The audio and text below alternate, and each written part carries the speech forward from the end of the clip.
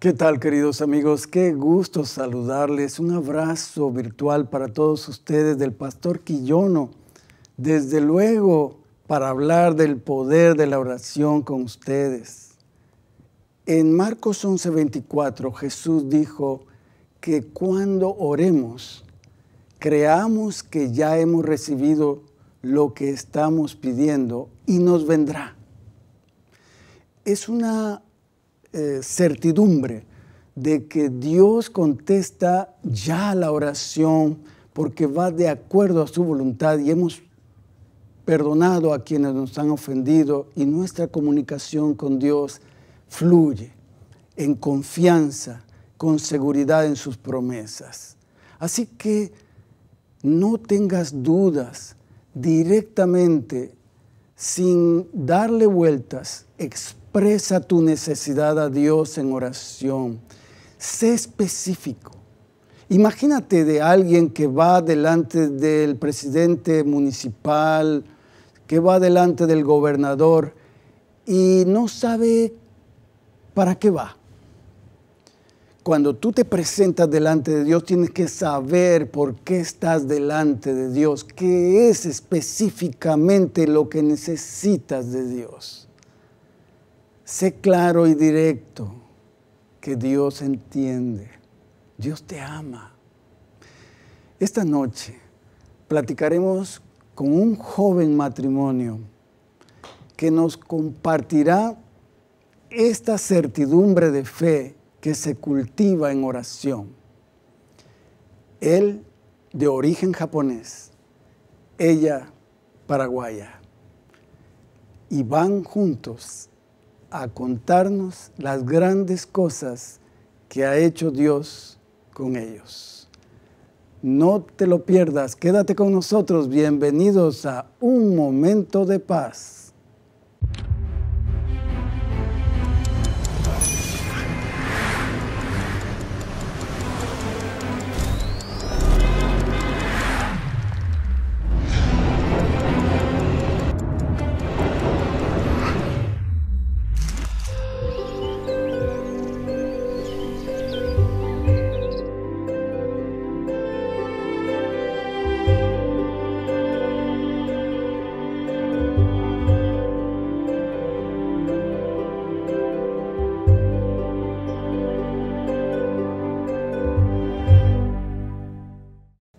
Cuando invoques el nombre de Dios, sé claro, ten un propósito claro definido en mente.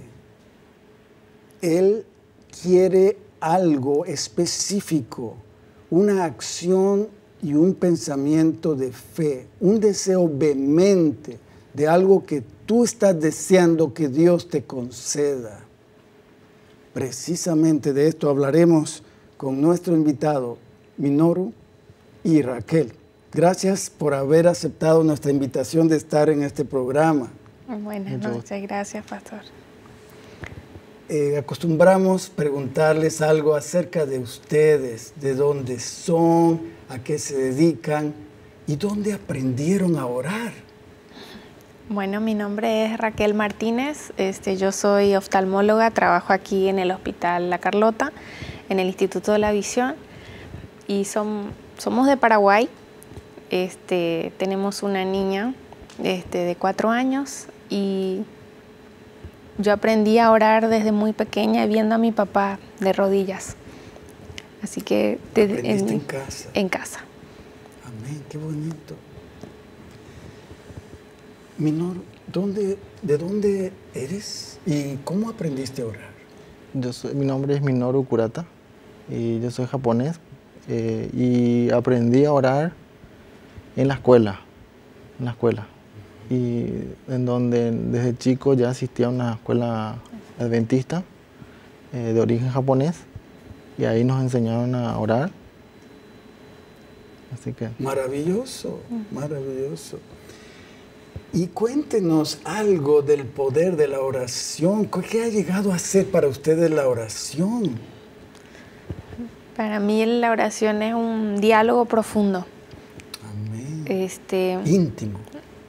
Exacto, muy, como usted decía, qué lindo, específico, o sea, como que es ir a Dios como, como, como estamos, como un amigo que nos conoce de antemano y entonces sabe incluso discernir si estamos bien o mal. No podemos fingir. Hay personas que piensan que hay que darle mucha vuelta a Dios, eh, ser un poquito retórico para poder caerle bien a Dios. Me parece que es falta de confianza.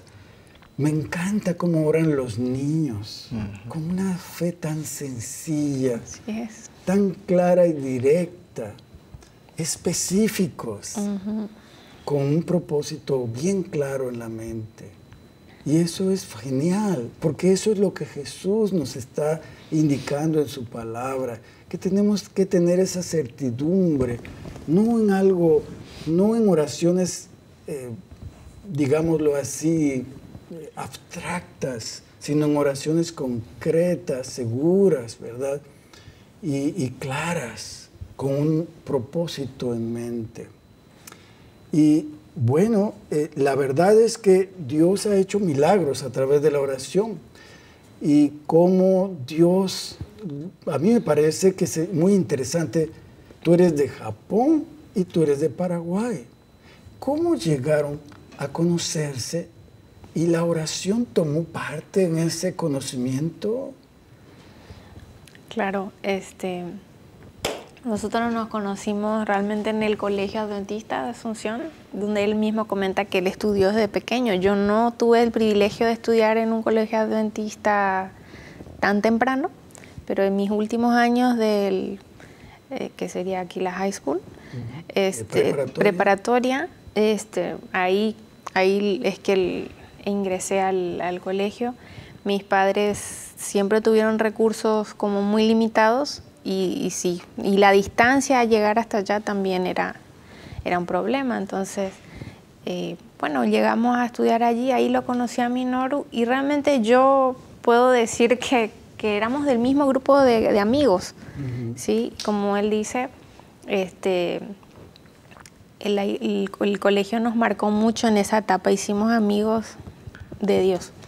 Y de ahí empezamos, yo creo, el tema de la oración. Y cómo pudimos este, armar, digamos, de esa amistad fue gracias a los maestros consagrados.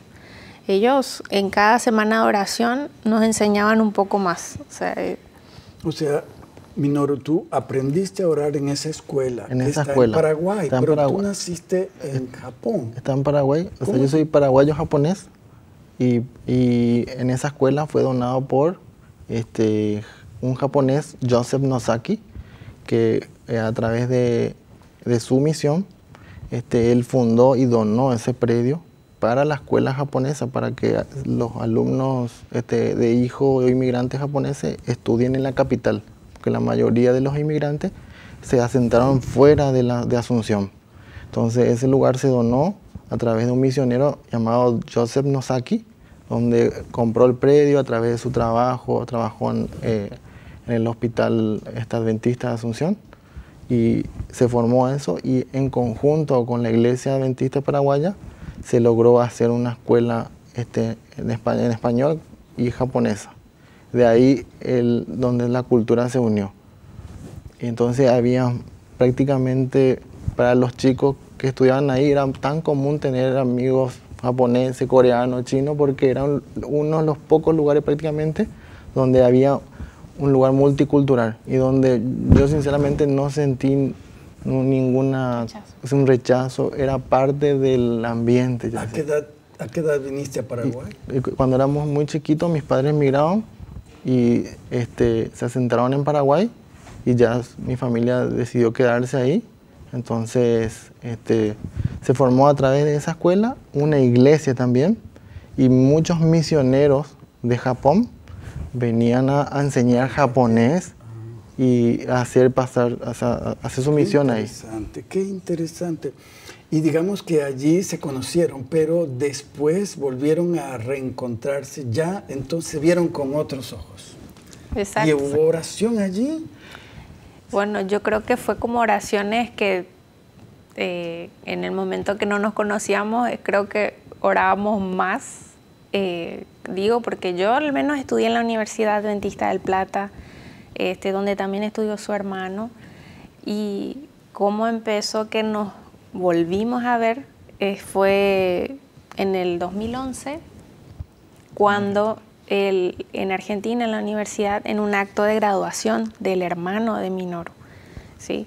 Entonces, eh, yo reconocí fácilmente a la maestra, su mamá fue maestra toda la vida en, el colegio adventista de Asunción.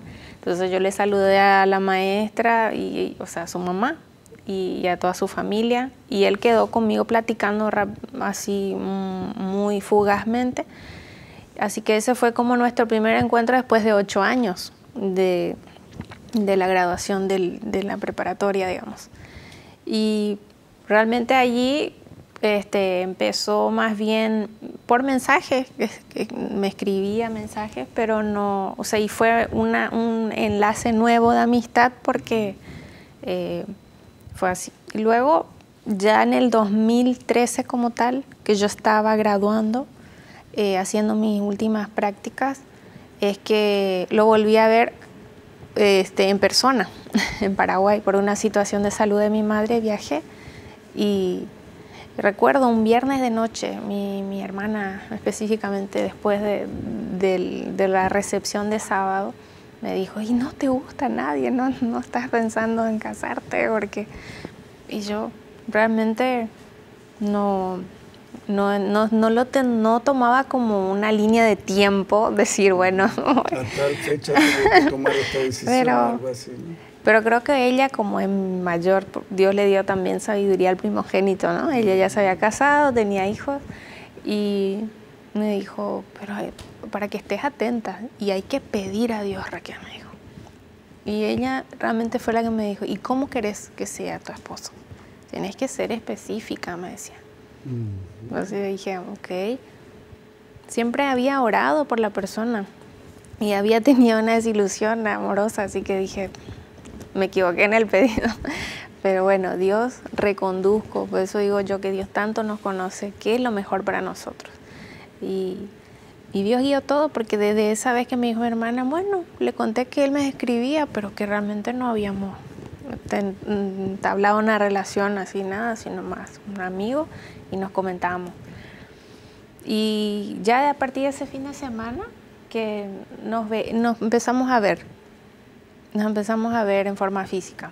Entonces eh, conoció a mis padres, reconoció a mis padres y mm, después de unos meses pudimos entablar una relación como tal este, con, la aprobación también de mi familia, así sentí, sentí el, sí de Dios y el sí a través de, de, la familia. Exacto. Que sin duda alguna oraban por ti. Si tu hermana se había, mm, digámoslo, había expresado el deseo de que ya era tiempo de que abriera los ojos hacia ya no tanto a los libros y a la medicina, sino a alguien más bueno, así. Entonces, sin duda alguna, tu familia, que donde aprendiste a orar, oraba por ti.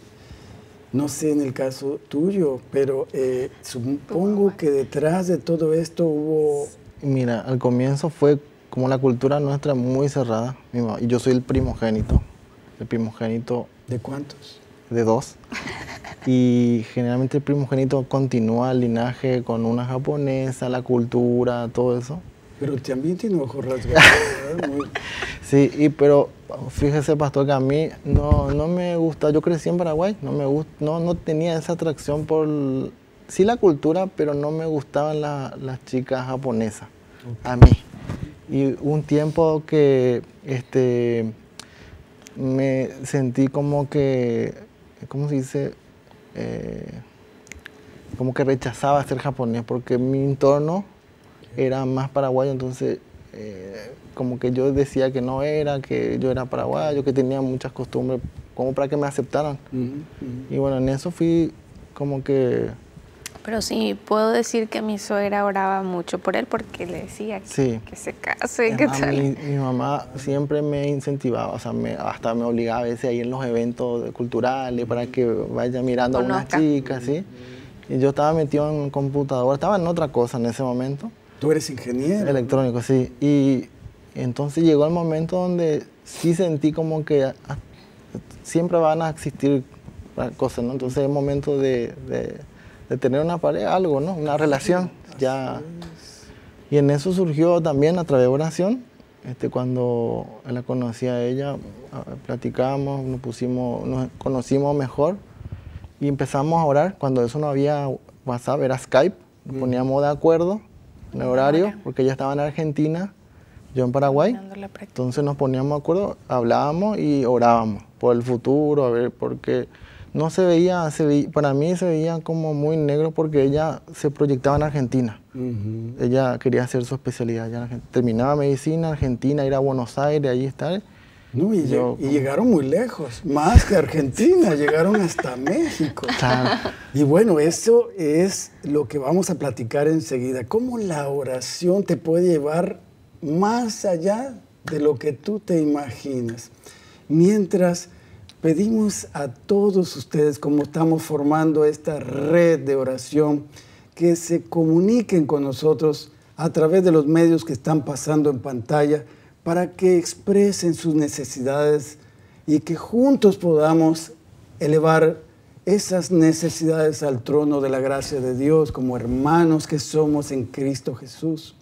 Que nadie se sienta sola, que nadie se sienta aislada, sino que oremos los unos por los otros, que esa es la voluntad de nuestro Padre, que si nos ponemos de acuerdo en esta tierra en pedir algo al Señor que está en los cielos, que es nuestro Padre, Él nos concedería las peticiones de nuestro corazón. Así que comparte también aquellas cosas que Dios ha hecho contigo y alabemos juntos a Dios en este programa, formando una red de personas que oran los unos por los otros para que este mundo pueda ver la gloria de Dios brillar y Jesús pueda venir muy pronto. De esa manera entonces ustedes llegaron a conocerse. Pero la pregunta es, ¿cómo fue que la oración tuvo que ver con la idea de que ustedes vinieran a México y que estuvieran ya aquí radicando? ¿Cómo pudo ser? ¿Te atravesaba la idea alguna vez de que estarías en México? Yo no. ¿No? Creo que no. Este, particularmente después de que nos casamos, eh, finales ya del 2014, cuando nos casamos, pues la verdad, él sabía muy bien que yo quería hacer una especialidad y siempre me apoyó, Minoru siempre me apoyó en, trabajar este, y sí, en acorde a, lo que queríamos tener un, hijos, ¿verdad? Decíamos que yo quería una especialidad que me diera tiempo para tener una familia. Entonces yo sí oré mucho a Dios, la verdad. Pero tenía un conflicto porque tenía muchos intereses, así, pero siempre en área quirúrgica, pero cada vez que veía un cirujano pasaba horas y horas fuera de la casa orando ese año 2015 eh, ya, al siguiente año de casados, este, empecé la o sea, terminé la homologación, perdón, la homologación de, de, lo que es medicina, porque volví, yo estuve en Paraguay para casarme. Entonces, allí elaboramos prácticamente un plan. Bueno, ingreso a la residencia, se rinde el examen de, especialidades para poder eh, ingresar igual que aquí, a nivel nacional y demás. Entonces, en ese periodo donde iba a proyectarme para, la, para los exámenes de residencia, conocimos a dos mexicanos que graduaron de aquí fueron llegando a la iglesia japonesa. Pero, iban a la iglesia japonesa. Fueron llegando. No, fueron llegando de visita. Ah, de visita. Y específicamente uno de ellos ejecutaba la trompeta y ella cantaba. Entonces ellos dos médicos habían ido a Paraguay a hacer oftalmología. Y yo dije, qué raro. Bueno, ya después claramente de lo que fue el sermón y todo, lo invitamos a comer porque hacemos Almuerzo todos los sábados. Ajá, hacíamos almuerzo, potluck. Entonces, una vez... En la iglesia. En, la, iglesia, japonesa. Ellos quedaron fascinados porque, bueno, aparte de la comida y todo, este, ellos nos comentaron bien como de dónde venían y todo. Yo me quedé encantada como, wow, ¿cómo llegaron hasta acá? hasta Paraguay, de México a Paraguay. Y entonces ellos empezaron a hablar y conforme yo los escuchaba, yo decía, está buenísimo, o sea, como oftalmología. Entonces me dijo, tienes que aplicar, me dijo, de una vez, me dijo. ¿Ellos te dijeron? Sí. Con toda seguridad. Yo dije, ¿cómo estos saben que yo estoy indecisa?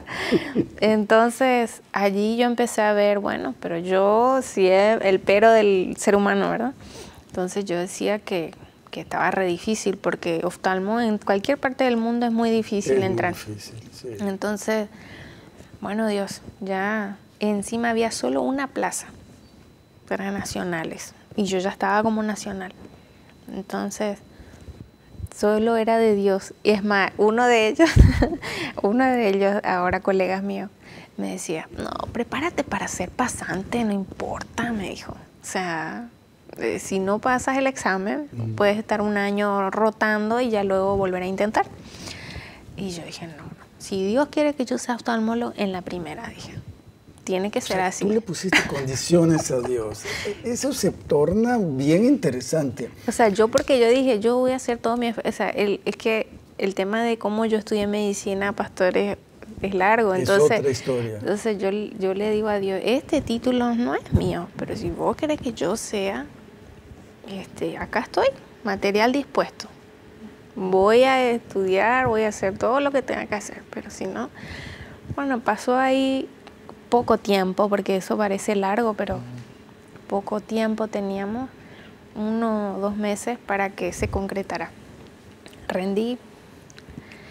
Hay, hay tres maneras de rendir el examen, el sistema nacional como tal, quedaban las plazas en sábado.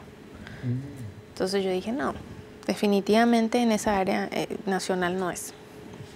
Pero yo igual lo rendí, porque yo dije, Dios, vos podés cambiar el día que ponen las plazas. Yo rindo un jueves. el y- examen no era en sábado, No. pero, pero sí las plazas. ¿no? Exacto. Rendíamos un jueves, temprano, en la mañana. Y ese jueves yo dije, pero ya van a poner las notas seguro para la tarde, si todo está, eh, es electrónico y En esa esperanza, pero no la dieron. Viernes y no la dieron. Bueno, el viernes me llamaron a la entrevista en el otro lugar donde fui a hacer el examen y es en es- en este lugar, en la Fundación Visión. Y, y allí es donde había una sola plaza, o sea, a nivel nacional había tres y a nivel, A este, nivel privado nacional, tres nada más. tres nada más. Es que había solo tres hospitales formadores. Ujú. En realidad, este, mm, de ese año incluso se cerró uno más, o sea, quedaron al final como dos. No, tres en todas, sí, sí, estoy correcto, era tres, ese año al menos. Cada año se cierra como uno. La cuestión es que igual 8, millones de habitantes tiene Paraguay, es pequeño, es pe- digamos. Eh, eh, no se dio lo de la plaza, pero me llamaron a la entrevista y yo fui. Entonces, como yo había rendido primero a nivel privado, eh, igual lo di por perdido porque tampoco me estaban llamando. Entonces dije, bueno, ninguna de las dos será. Pero me llamaron ese viernes. Es más, estaba yendo a otro lugar para otra, otra gestión y decidí irme para allá cuando me dijeron a tal hora la entrevista. Ok, voy. Y hasta ahora recuerdo cuando termino la entrevista, porque me entrevistaron inglés, portugués, guaraní, que yo hablo guaraní, me hablaron en todos esos idiomas porque en mi currículum decía que yo hablaba esos idiomas. Y querían ver si... Ajá, y me, sí, me cuestionaron todo. Salí y sentí que, que estaba bien, pero que al- como que no estaba segura. Y salí y me dijeron, sí, quedaste. Sí, quedé, pero en qué, como que no me decían nada, entonces me fui a mi casa y recibí un mail donde me dijeron que estaba aceptada para la Plaza Nacional de Oftalmología para, para hacer la residencia médica. Y vivíamos justo a, no sé, 10 minutos. Menos, Menos de 10 minutos. dos O kilómetros. sea, habíamos decidido vivir cerca de ese lugar Ujú. Pero Dios había puesto eso, nosotros no, ni sabíamos. Así que ahí empezó lo de la residencia y ahí conocí el contacto de lo que es Universidad Montemorelos y la, el hospital y todo. Entonces ahí orando porque realmente yo quería una especialidad, alta especialidad, que aquí hay. Una subespecialidad. Ajá, así es. Así que ya prácticamente casi graduando, en el último año pedí una, una rotación y allí conocí a todo el personal. Entonces, realmente él no, no, pensaba que, la respuesta iba a ser tan positiva. O sea, sí, que no aceptaban. Resulta que ya ese año, o sea, esos meses, yo ya tenía todos los síntomas de un embarazo y no se lo sabía.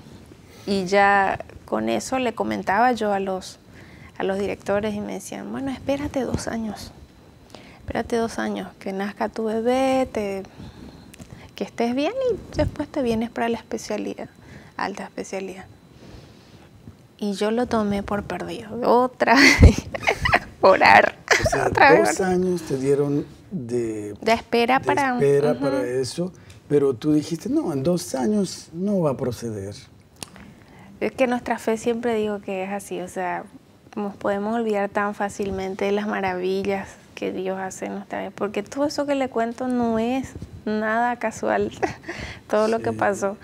Y, estos amigos fueron claves, porque cuando justamente entre que ya estaba Narumi entre nosotros, recibimos la visita de ellos una, una vez. sí. Una vez. Los mismos que Los habían mismos. Graduado Ellos ya habían graduado. Mm. Me decían, Rachel, no desistas, me decían no desistas, me dice, no solo ahora, escríbeles. Y yo decía, no, no, no voy a escribir porque hasta me da vergüenza. Decía yo, no, ¿por qué voy a volver a escribir si ya me habían dicho que espere? O sea, que como que no tenía fe, mm. ¿verdad? Entonces, no, escríbeles, escríbeles. Y yo no postulé por segunda vez. Me tuvieron en cuenta, eso fue lo que yo digo, Dios, qué misericordia. Porque la plaza en realidad, claramente uno la eh, hace su solicitud, todo eso, ¿verdad? Pero justo cuando ese año me volvió a decir, mis amigos me decían, Kelly, escribe. Porque me dicen, Kelly, escribe. Me preguntan, doctora, estamos preguntando si usted sigue interesada en la plaza. Y yo, sin consultar a menor, yo dije, esto es una respuesta. Yo dije, sí, porque era solo el interés. Dije, ok, y le conté, me escribieron si seguía interesada y puse que sí. Ah, está bien, me dijo. Entonces... Minoru no, no muy estaba de acuerdo. no, yo, yo me metí en eso, ella se quedó como ama de casa, iba prácticamente está en la casa, cuidó de Narumi, yo me dediqué a al trabajo, al trabajo y me metí en muchos proyectos, proyectos nuevos. Justo en eso me metí en electromovilidad con los carros eléctricos y ya entré plenamente con un contrato, con todo, ya tenía planificado irme a China, mm. aquí, aquí te vas a capacitar esto, esto, vas a ser el ingeniero encargado de esto, vas a hacer esto y ya para adelante, ¿no? O sea, ya estaban los planes del futuro bien Claro, ahí, ahí estaba y yo decía, no, o sea, yo decía, ya hiciste vos, ahora mi turno, o yo, esto es lo mío, algo así, y cómo vamos a hacer, ¿verdad? Entonces, este, y me dijo el amigo este, nos dice, no, habla con él, pídele un permiso, no, no va a ser para siempre, total, terminas, dura un año y medio, dos, y te puede esperar, o sea, no creo. En eso, este, le dieron a ella cinco días o no sé cuánto, un tiempito muy corto para decidir. Decida definitivamente si iba. Y, Dos días. claro. Todo lo que implica moverte del país, de vender todo y papeles aquí y allá. Emigrar. Emigrar a otro país es duro. Todos los negocios que tiene, compromiso que hay que dejar ahí. Entonces en eso fui a hablar con eh, uno de los CEO y me dijo, me, tomó positivo. Eso fue lo que pusimos en oración. Si Él me da permiso, es el camino, ¿no? Pusimos orar previo a eso y tuvimos, yo tuve la reunión con Él y me dice, no hay problema, andate, va a quedar más cerca a China, me dijo. Andate a México.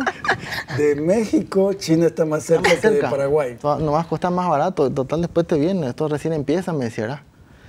Bueno, de ahí, bueno, fue la respuesta de Dios. Este, ya, ni modo, vamos. Esto es noviembre, noviembre de 2019. En esa respuesta del jefe, del CEO de tu, de tu empresa, viste que Dios estaba diciendo adelante con el plan de ir a México por la subespecialidad. Y tú estarías todavía trabajando en tu empresa y tu esposa desarrollándose como especialista. Claro, y en eso yo muy, este, ¿cómo se dice?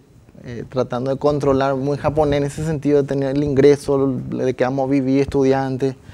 Eh, pregunté el tema de la paga, si me van a pagar, y, me dijeron que sí. O sea, tú trabajas, ves la forma de mantener siempre, ¿no? Eso fue un compromiso. ¿Tú trabajarías a distancia? A distancia, ya antes de la pandemia, eso fue... Noviembre de 2019, sí. estamos hablando de lo que decías. teníamos dos días para responder, pero claro, teníamos que venir para febrero de 2020.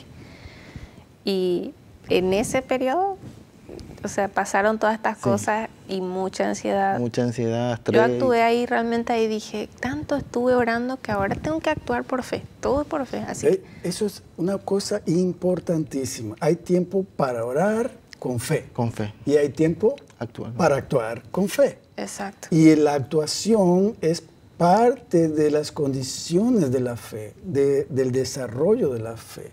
Sí. Porque una fe de labios es muerta. Tiene que haber acción en obediencia a las convicciones que Dios ha colocado en tu corazón. Y se dieron los resultados. Sí, sí, Y, orando fue que realmente eh, se vendieron todas las cosas. O sea, nosotros... Y justo a tiempo, ¿no? Así, justo a tiempo. Eh, teníamos realmente dos meses y medio para eso pero eso es casi como lo minoritario porque lo que queda son papeles y papeles y papeles. Papeles, papeles, puros. Este, y como él dice, ¿verdad? Organizarse para decir una vida fuera. O sea, una vida en esta, porque en el núcleo, en lo que es familia, no sé, es como más sencillo pareciera, es como que es más holgada pareciera la vida, pero es lindo eso como nosotros cuando vinimos teníamos la promesa eh, y Minor una vez compartió eh, de cómo se sentía Abraham cuando le decían que vaya de su tierra. Y, deje a su parentela y Dios le iba a mostrar la tierra donde iba a ir. este, sí teníamos muchas dudas e incertidumbres, y, pero realmente eh, le digo, estos amigos que todavía siguen siendo muy especiales, nos, nos han apoyado también mucho estando acá forman parte de su familia. Y más otro amigo, se me, me, acordé ahorita, unos amigos peruanos que ni los conocía, ni hasta ahora los conozco, los conozco por teléfono. los conozco por teléfono. También aquí la esposa, muy similar a mi caso, el ingeniero y ella oftalmóloga, también vino así, él me apoyó, no, en Monte, yo ni sabía que en Monterrey cualquier chamba tú te puedes hacer, o sea, no te preocupes, eso se puede, como que hay que buscarle la vuelta, así. como me motivó a que no me preocupara por el dinero para que sí o sí vas a encontrar algo y que queda cerca, no, no. Porque aunque ya le habían dicho que sí, por, si, por si no alcanzara todo eso. Ah. No sé en japonés, ¿verdad? Bien estructurado todo, tiene que estar bien seguro. Tiene que estar así en eso, entonces. Pero de Dios es todo el oro del mundo, es de la riqueza. Es que eso es lo que más experimentamos. a veces no necesitamos ni tantas cosas, o sea, qué, increíble. Estamos acostumbrados, claro, a tener, pero en la necesidad es donde más uno ve la mano de Dios. Si no, ¿cuántos? y no solo estudiaste tu subespecialidad, más aún. Dios tenía un trabajo para ti aquí. Ay, sí. Y entonces, lo que serían dos años, se está convirtiendo más. Eh, no le terminé de contar, pastor. En eso viene la pandemia y Dios nos salvó, me salvó a mí, porque yo iba a ir a China, ya tenía el pasaje, hotel, la empresa donde me iba a recibir.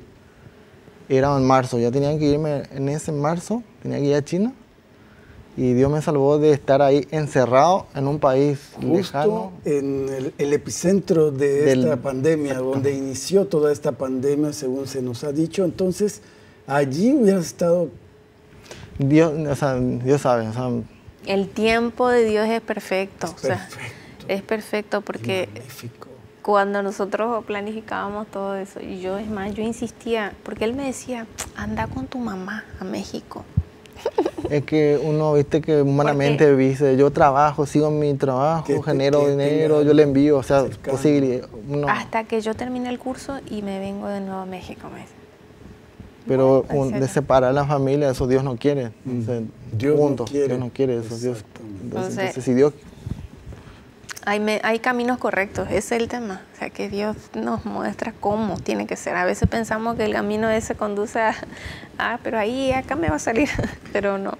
Dios une los corazones y tiene planes para ustedes dos juntos, juntos, porque así los llamó Dios. Y en oración Dios ve donde nosotros no podemos ver, donde aparentemente están cerradas las puertas. Dios abre, tiene mil posibilidades donde no vemos ninguna, pero todo debe ser llevado a Dios en oración y con súplica sincera, directa al punto, al grano, como hijos que confiamos en nuestro Padre amoroso. Queridos, mientras escuchamos el canto de las guerreras de la oración, envíen sus pedidos de oración para que juntos nos unamos a orar por estas peticiones y alabar a Dios por estos agradecimientos. Escuchemos.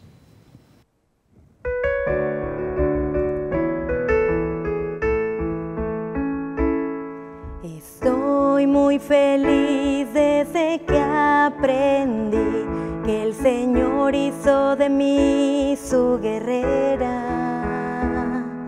Estoy muy feliz desde que aprendí que el Señor hizo de mí su guerrera.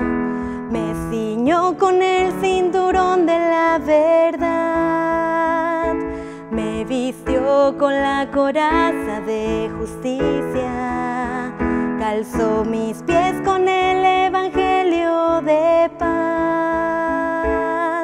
Me dio el escudo de la fe. Con que apagar los dardos del maligno me dio el casco de salvación, la espada que es la palabra de Dios,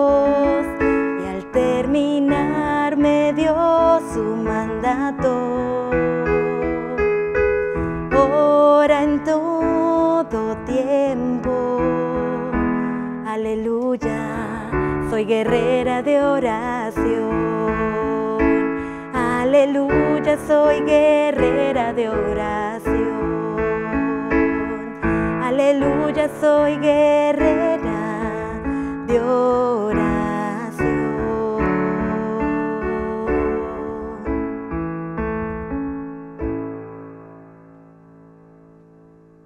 Queridos, continuemos orando por consuelo, fortaleza, esperanza por la familia Castillo. No los olvidemos, fue un asunto muy repentino, doloroso y sentimos grandemente esto. Y por eso nuestras oraciones a Dios. También no olvidemos seguir orando por tanta gente que padece injustamente en Ucrania. Eh, hay una campaña que se están levantando fondos para dar a Ucrania no solamente pan material, sino también el pan de vida que es la palabra de Dios y la forma en que podemos contribuir con donativos donde una Biblia cuesta 7 dólares y se está proponiendo compartir 40 mil Biblias. Hay un grupo de personas que tienen una fe aferrante de Dios, una fe poderosa en Dios y están orando 40 días para que cada día mil Biblias en Ucrania se puedan distribuir y nosotros podemos contribuir a este proyecto. Allí se estarán eh, poniendo en pantalla los medios a través de los cuales podemos donar 7 dólares da una Biblia en ucraniano para que el ucraniano que sufre los embates de la guerra pueda también tener esperanza en la pronta venida de Jesús a leer la Biblia. Y podemos compartirlo a través de los, de los medios, a través de las formas en que están pasando allí en la pantalla. También debemos seguir orando por Julio Vera y el papá de Julio. Eh, también queremos ponerlo en las manos de Dios. Recuerden que él está enfermo de cáncer y queremos que se haga la voluntad de Dios agradable y perfecta con él. También Arturo Ramón nos escribe, buenas noches a todos, pido a Dios que me abra puertas de trabajo. Pido por un lugar donde pueda laborar y ser de utilidad para Él. ¿Qué le diríamos? Dios puede escuchar nuestro clamor, ¿no? Ana María Lillo Urquieta, suplico por Jenny que está en Nueva York y sus hijos Ingrid y Paula, también por Edith y la enfermedad de su esposo, por Carlos, sus hijitas y esposa y por toda nuestra familia y el pueblo del Señor Dios Todopoderoso. Claro que sí, Ana, estaremos orando por esto. También Juan Ruiz nos ha pedido que oremos por él. Eh, es un amigo que ha puesto en las manos de Dios a sus hijos y también algunas personas, unas tres personas que son amigas suyas, eh, suyo, que quieren eh, conocer más de Dios y están asistiendo a una campaña evangelística. Es Ingrid, Santiago y otra persona que está, están acercándose a Dios. Oremos para que Dios toque estos, estas personas. Marta Godoy, buenas noches, soy de Esmeraldas, Ecuador. Bendiciones para todos. Pido oración por mi familia. Claro que sí, Marta, estaremos orando y las guerreras de la oración estarán también orando. Raquel, tú perteneces a las guerreras de la oración, ¿cierto? Sí, gracias a Dios que conocí a amigas eh, que oran y son realmente como ángeles, se podrían decir. Amén. Porque si una se desanima, la otra tiene un... Es maravilloso. Nadie tiene que quedarse solo, sola. Consigue un grupo donde estar orando mutuamente para que Dios sea glorificado y nos animemos en el servicio que damos a Dios. Alejandro Machado, buenas noches, dice. Pido que oren por mi hija Susi. Saludos desde San Diego, California. Un saludo para ti, Alejandro estaremos orando contigo por Susi. Tere Hernández, hola, buenas noches, saludos a todos. Sigo pidiendo oración por mi hijo Julio César Vera Hernández. Por favor, y por todos los enfermos, Dios haga su voluntad en cada uno de ellos. Tere, hemos mencionado a Julio y seguiremos orando por él. Esperemos un milagro para la honra y gloria de Dios, conforme a su buena voluntad, agradable y perfecta. Ale Orozco, buenas noches, les agradezco mucho a Dios y a cada uno de sus oraciones por la cirugía de Johanna Gómez y la de Rocío Orozco, también por la cirugía de mi mamá. Ella está en recuperación y estamos muy agradecidos porque Dios contesta nuestras oraciones. Amén. Dios es real, es nuestro Padre amoroso. Teresa Soto, pido una oración por mi familia y la familia de mi hermana Elsa y su hija Elsie. Estaremos orando unidos a ti, Teresa, por estas peticiones. Sara Paredes, oración por el matrimonio de Johan. Claro que sí, debemos orar por los matrimonios. Isabel Ramos Hernández, pido oración por los chicos de teología que mañana saldrán a su misión a diferentes lugares o estados, que Dios los fortalezca en su fe. Vamos a estar orando para que Dios los unja con su espíritu y puedan tocar los corazones para que haya un arrepentimiento y búsqueda de Dios. Dolores Castillo, si pueden orar por mi hija que va a viajar a Puerto Rico con sus amigas y por tres peticiones de oración especiales, que Dios les bendiga. Dolores, estamos orando, estaremos orando por estas peticiones nos unimos a ti y a todos los demás que nos están viendo, que nos están escuchando. Unámonos en oración, nadie quede solo, que nuestras oraciones puedan subir hasta el trono de Dios con otra persona, ¿no? Así que vamos a orar, les invitamos a que inclinen sus rostros allí donde estás y vamos a pedir, Raquel, ¿puedes orar? ¿Está bien? Y ora pidiendo para que Dios sobre milagros y prodigios para su gloria y nada más para su más alta gloria. Si me permite, pastor, yo sé que esos pedidos son muchos con dolor. Este, y antes de dar la promesa final que tenemos, quería mostrarle esta oración que hace el profeta Habacuc. Habacuc 3, 16 al 18 dice, Oí y se conmovieron mis entrañas temblaron mis labios, se resplandecieron mis huesos y mi interior se estremeció. Sin embargo, esperaré tranquilo el día de la angustia que vendrá sobre la nación que nos oprime. Aunque la higuera no florezca ni haya fruto en las vides, aunque falte el fruto del olivo y los labrados no den mantenimiento y las ovejas sean quitadas de la majada, y no haya vaca en los corrales. Con todo, yo me alegraré en el Señor y me gozaré en el Dios de mi salvación.